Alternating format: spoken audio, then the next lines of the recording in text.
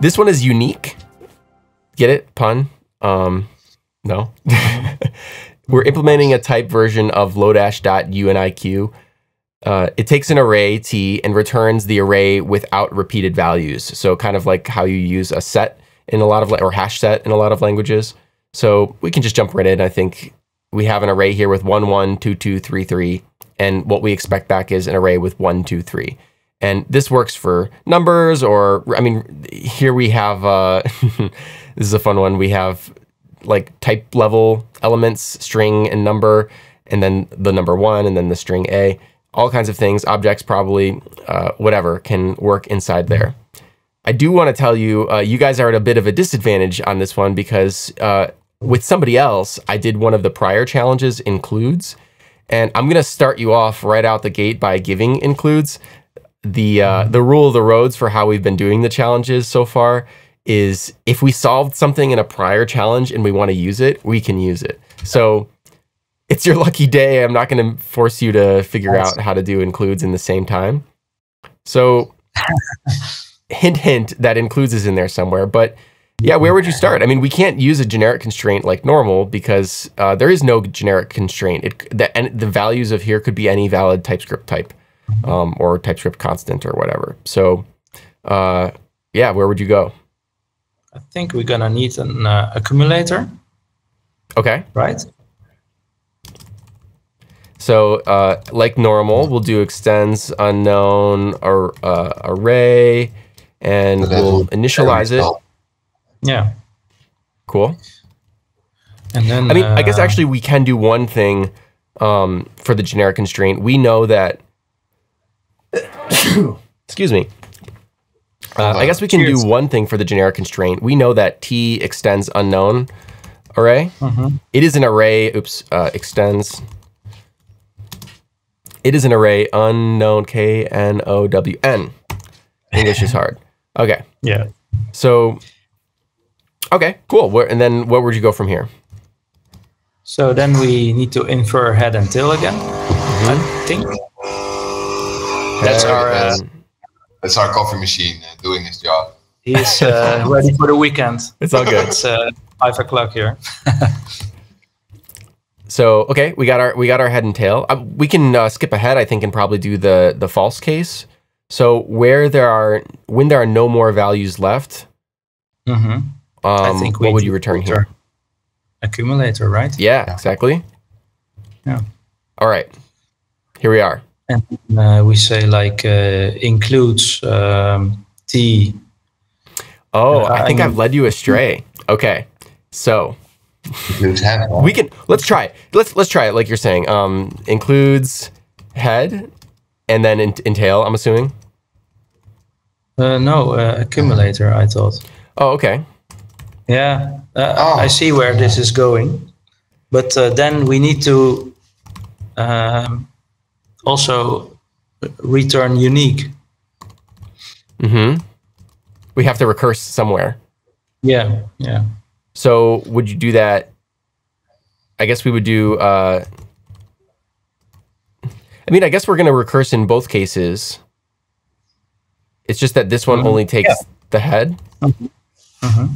Is that right? Unique head. What's going on? We got an error. Does not satisfy the constraint unknown array. Oh, because That's the oh tail, right to do this right right right um tail. Yeah. Okay, and then here we have another array.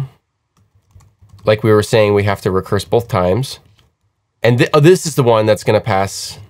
This is a little different than any of the. Uh, does this work? Unique head. Um, oh, it would be tail. Are we going? Okay, so I have to confess something to you. I completely led you astray. There are two main ways that people solve this, and only the first one, the one that's most obvious to me, uses includes. But it turns out that you took the path uh, with the accumulator of the one that doesn't need includes. so I should have oh, never said anything. We'll come back to it.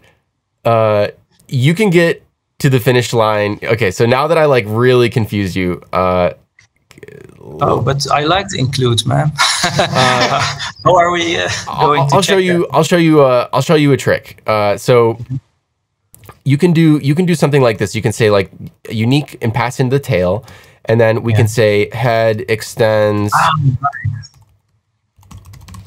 If if head is a value, if if head is assignable to accumulator, meaning like we're at the end of the road. Yeah. If that's true, then like you- just like you said for the the false case of the first ternary, we can return the accumulator. Otherwise, we spread in the accumulator and not ActiveX object again. ActiveX object. Okay, we we can spread in the uh, we can spread in the accumulator uh, j- just like that. Oh, I'm sorry, I have a syntax error here. Yeah, but we need to call unique, uh, right? With Um, we did. So like we called unique up here, Yeah. and we're passing in the the the tail, and then the head here. What is it failing for? Um, oh, this is a nope. Wow, what? you guys, I'm I am the worst. So What? What? There's a syntax alright. error on uh, 47 though at the end. no, there isn't because it starts from here. Ah. Oh no, I, I, get I have it formatted really weirdly. Okay. Okay. Okay. Um, okay.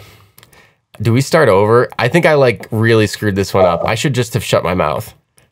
No, no, it's okay, man. This this is uh, part of the process. It's all a right, safe all space. right. Yeah. This doesn't work. Let's let's let's look at why let's look at why uh, why it doesn't work. So we're getting never out, never out.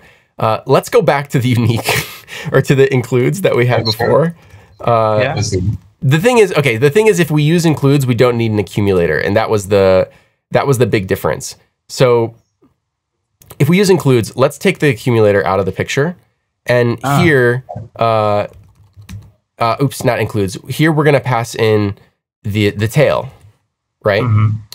uh, in this case we can just ret- base case we can just return an empty array so uh, we're not quite there yet but this is basically the the, the way that it would work the tail will go here at the end um okay i have to fix this so we can kind of go backwards through it Yeah. So if tail already includes head, then um, Can we walk through it step by step as we've got it right now? let's do that so Yeah. from the beginning Yeah.